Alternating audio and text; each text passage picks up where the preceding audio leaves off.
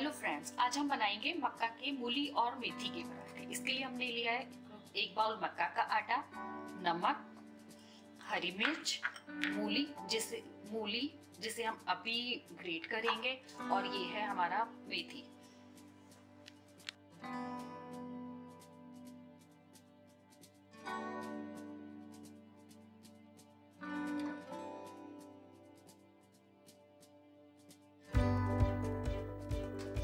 हमने ये सब ग्रेट कर लिया है।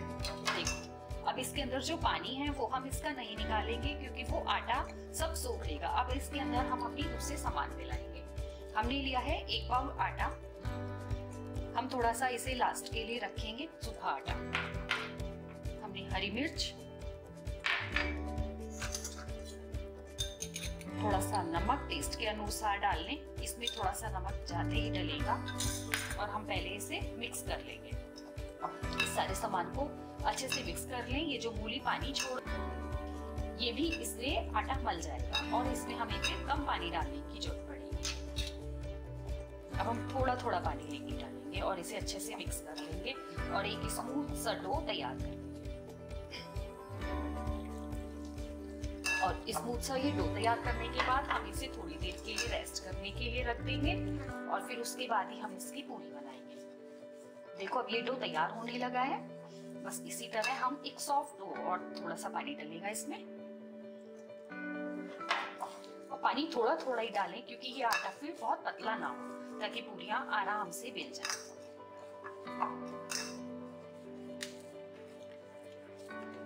देखिए, हमारा ये डो तैयार हो गया है।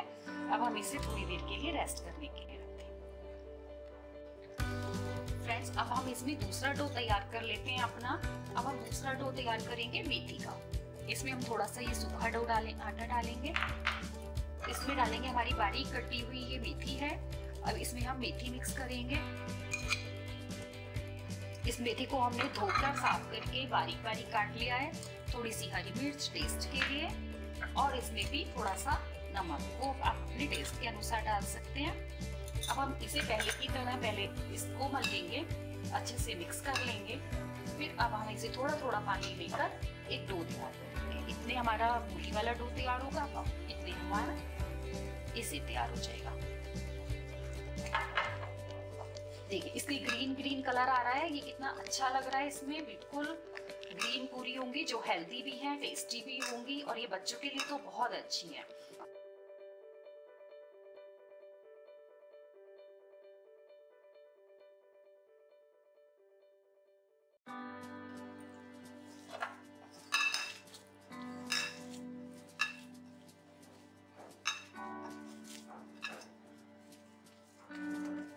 देखिए अब हमारा ये डो तैयार हो गया। इसे भी हम रेस्ट करने के लिए, थोड़ी देर के लिए ढककर रख देंगे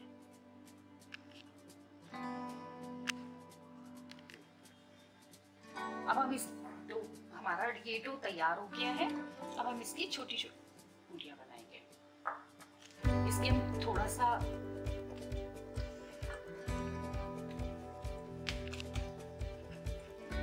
ये हमने डो लोई बना ली, छोटी सी, पेड़ा बना है सूखा आटा लिया है। इसे अच्छे से सूखे आटे में करके हम बस हाथ से हल्का हल्का इसको ऐसे प्रेस करते रहेंगे।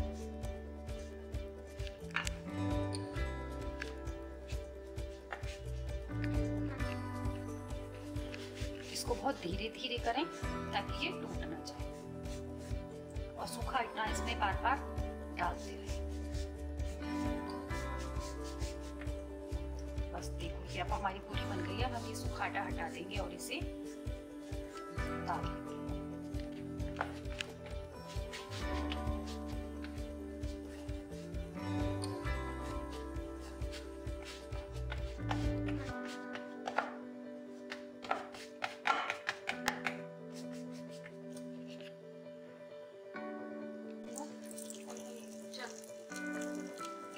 थोड़ा सा आटा डाल के देख लेते हैं कि हमारा घी गर्म हो गया है।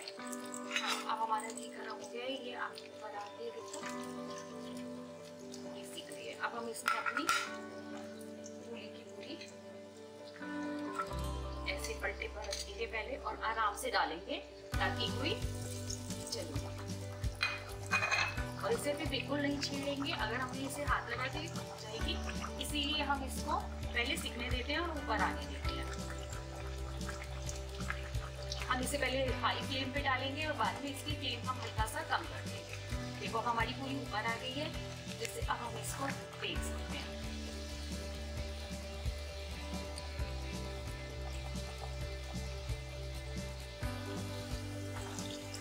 अब हम इसको पलट देंगे बिल्कुल आराम से।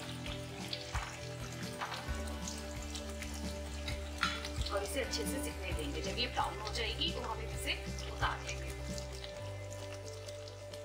हम एक बार में एक ही पूरी डालेंगे, वरना तो ये दोनों पूरी टूट जाएँगी। मक्का बहुत सॉफ्ट होता है आटा। इसलिए बहुत सावधानी से हमें इसको बनाना पड़ेगा।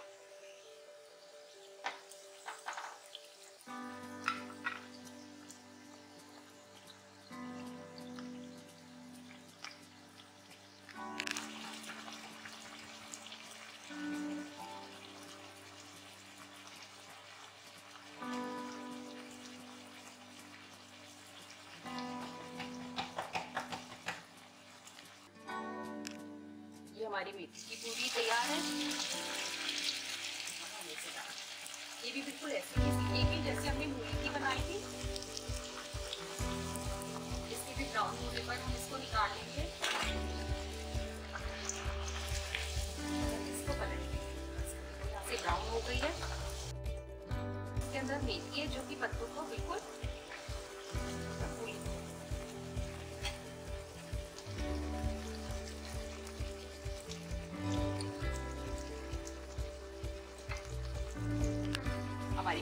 गई है देखो, अब हम इसका घी निकाल लेते हैं अच्छे से इसमें है।